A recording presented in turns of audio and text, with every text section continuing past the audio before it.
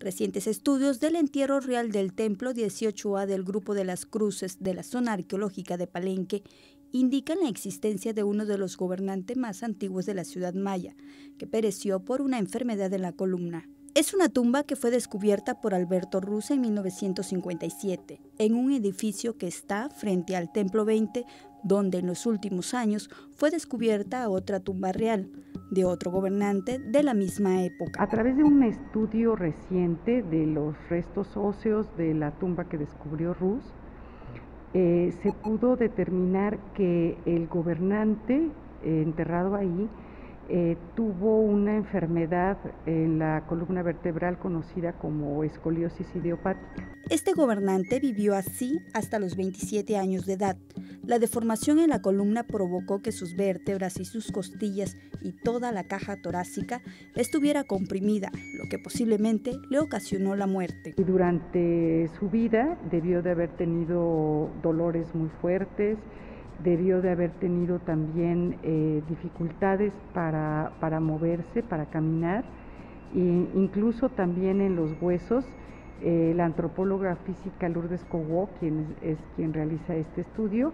este, detecta que hay un desgaste eh, más pronunciado en las rodillas,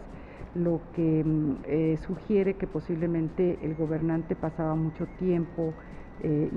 la inferencia que los investigadores han propuesto a partir de este estudio y también derivado del fechamiento absoluto del entierro de un fragmento de una muestra del hueso del gobernante indica que es otra generación antes de la del gobernante Pacal. En las inscripciones aparece la fecha del 431 después de Cristo, como la fecha que corresponde al primer fundador de la dinastía y este entierro es de una fecha anterior. El hecho de que no esté registrado, se puede decir, este gobernante en las inscripciones es porque posiblemente los, los gobernantes posteriores no eran descendientes de él. Aseguró que posiblemente se trató de Cumbalán I, personaje que fue venerado posiblemente lo exhumaron para conservarlo como reliquia y tenerlo presente en sus rituales por la gran importancia que debió haber tenido como fundador de la dinastía, de la cual descendería Pacal, Cambalam y Akal Monab I. En Palenque se han descubierto tumbas de gobernantes mayas, a los cuales se ofrecían rituales por la importancia que tenía dentro de la dinastía. En las zonas habitacionales se han descubierto varios enterramientos en las unidades habitacionales, que eran las casas de la élite, eh, en donde ocupaban, por ejemplo, una habitación